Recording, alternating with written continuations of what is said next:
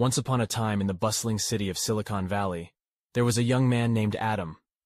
Adam was talented and ambitious, but he couldn't seem to find his true passion.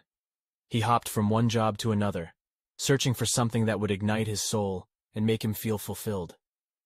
One fateful day, Adam stumbled upon a commencement speech given by Steve Jobs, the legendary co-founder of Apple Inc.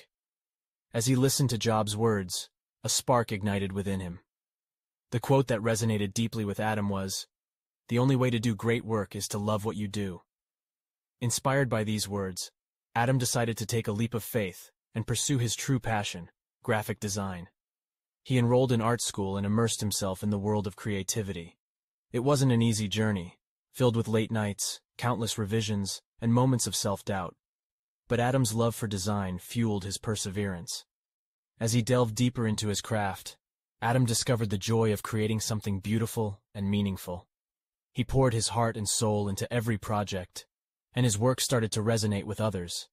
His designs began to receive recognition, and opportunities came knocking on his door.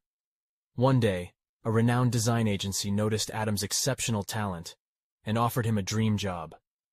With a mixture of excitement and gratitude, he accepted the offer, knowing that this was the culmination of his love for design and dedication to his craft. In his new role, Adam thrived. His passion for design shone through in every project he took on, and his work had a profound impact on people's lives. He realized that when you love what you do, it becomes more than just a job. It becomes a calling, a way to make a difference in the world.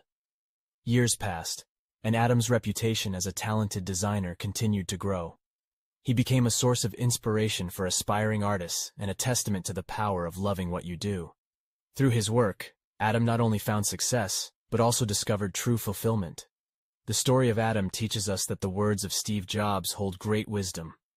When we find our true passion and love what we do, it becomes the driving force behind our greatness.